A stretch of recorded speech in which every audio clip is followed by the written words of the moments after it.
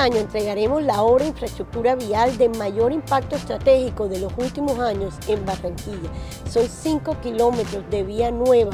que irán desde el puente Pumarejo hasta la carrera 46, de tal forma que organizará la carga, reducirá los tiempos de desplazamiento y mejorará la movilidad.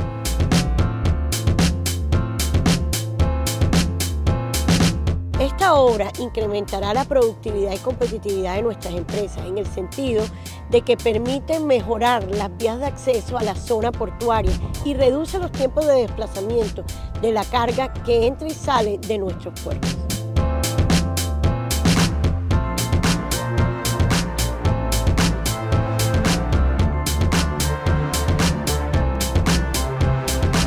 Esta es una inversión que se está haciendo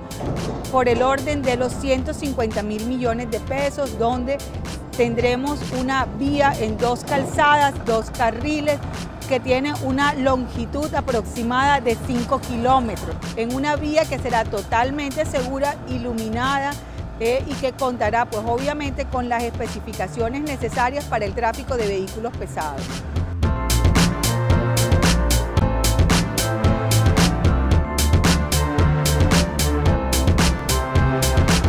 Esta, obra que se ha hecho con las más altas calidades, eh, con, especificaciones que realmente pueden resistir el embate de los niveles freáticos de la zona,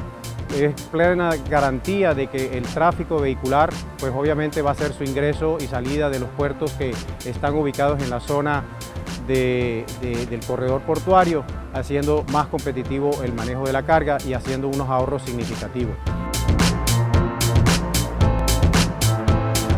También es una obra que va a mejorar la movilidad en el sentido de que organiza el tráfico de carga pesada y estos camiones ya no podrán transitar por las calles 17, la 30 o vías alternas, sino necesariamente por el corredor de carga.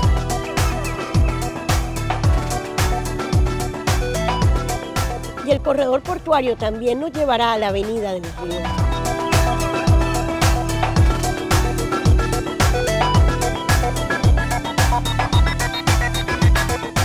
Cosas importantes y que debemos tener en cuenta es que el acceso a la Avenida del Río será totalmente gratis. Solamente los vehículos de carga pesada tendrán que pagar el peaje una vez ingresen a las instalaciones del corredor portuario.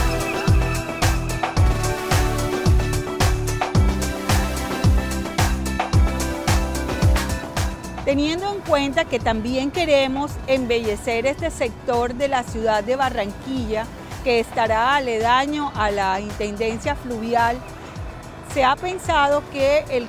los peajes también deben tener un diseño agradable a la vista y pues obviamente pensando en que este era el sector del puente del pescado se realizarán unas esculturas relacionadas con el tema del pescado.